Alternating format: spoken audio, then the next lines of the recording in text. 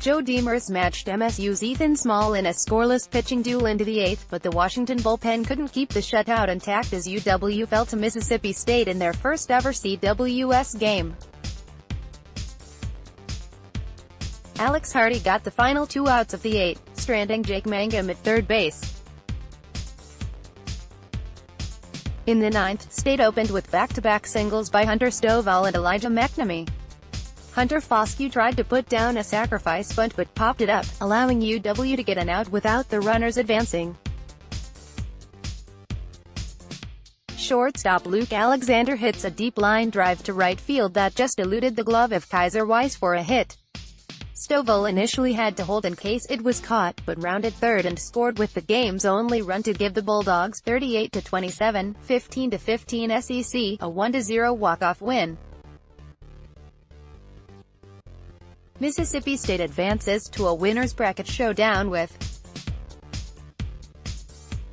Washington, 35-25, 20-10 Pac-12 falls to the elimination bracket and will face Pac-12 rival. On Monday, Alex Hardy, 5-3, took the loss for Washington, going one inning and allowing a run on three hits. Zach Neff, 4-3, gets the win for the Bulldogs, going two-thirds of an inning and allowing a hit. Both starters were fantastic despite not many strikeouts. MSU's Ethan Small went seven innings, allowing just four hits and walking none, fanning five. He was hit by a line drive earlier in the game but stayed in, although he was shown icing in the dugout after he was removed. UW's Joe DeMers went even further without a run, going seven and a third innings, giving up seven hits, one walk, intentional, and striking out two. He was extremely efficient with his pitch count, throwing just 72 pitches. Washington's best threat against Small came in the third inning. After Christian Jones struck out to lead off, Jordan Schiffer and Mason Serio hit consecutive singles to put runners at first and second. Small got called for a balk to let both runners advance, then lost control of a breaking ball, hitting Braden Ward to load the bases. Nick Call made solid contact, but right at Alexander for a routine 6-4-3 double play to end the UW scoring chance. The Huskies had a chance to take the lead in their final at-bat.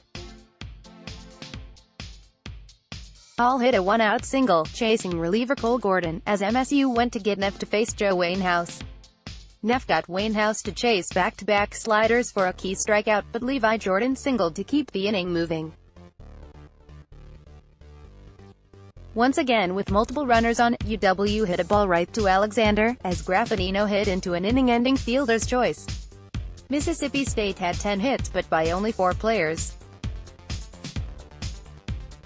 Stovall and Alexander had 3 each and were involved in the only run, while MacNamee and Mangum had 2 apiece.